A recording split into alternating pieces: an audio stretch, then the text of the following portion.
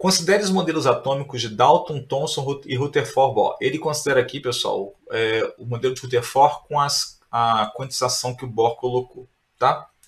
E os fenômenos: 1. Um, conservação da massa na transformação química. 2. Emissão de luz verde quando sais de cobre são aquecidos por uma chama. A. Quais desses modelos possuem partículas dotadas de carga elétrica? Então vamos lá. Dalton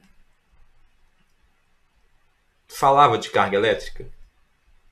Não. Esse é o ponto falho de Dalton. Dalton não falava não, ou não apresentava, né, no modelo o comportamento elétrico da matéria. Não tinha próton, nêutron, elétron, nada disso. Já Thomson começa a falar disso, porque Thomson considera que existe o elétron e uma pasta, aspas, positiva ao redor. Então já tem carga. E meu amigo Rutherford, com as ideias de Bohr, deixa isso ainda mais claro, né? deixando evidente que existe núcleo com prótons mais eletrosfera com elétrons. Não tem nêutron ainda não, tá gente? Nêutron surge só depois, bem depois. Então, desses modelos aqui, o modelo de Thomson e Rutherford inclui carga elétrica. Dalton, não. A resposta seria Thomson e Rutherford. Beleza?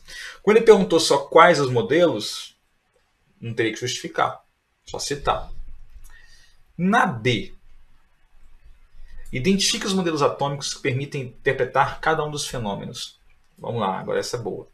Fenômeno 1, galera, é uma reação que vai conservar a massa. Para ter conservação de massa, eu não tenho que ter elétron, não tenho que ter próton, não tenho que pensar nisso. Eu tenho que pensar só nas questões mesmo de conservação de massa pura. E é o que eu acabei de falar na questão anterior. É, Dalton é o modelo que explica a estequiometria. Dalton é o modelo que eu uso para tudo que envolve estequiometria e relações de massa. Então, um é Dalton. O 2 é, seria emissão de luz verde? Ah, tá. Aí no caso 2, eu não posso usar Thomson, tem que usar Rutherford Bohr. Eu vou te explicar o porquê. Que, que o Bohr, principalmente Bohr, trouxe de importante? A quantização de energia, galera. E a quantização de energia eletrônica é o que faz a diferença. Que é o seguinte: se eu tenho lá um núcleo e aqui ao redor do núcleo eu tenho as camadas, tá?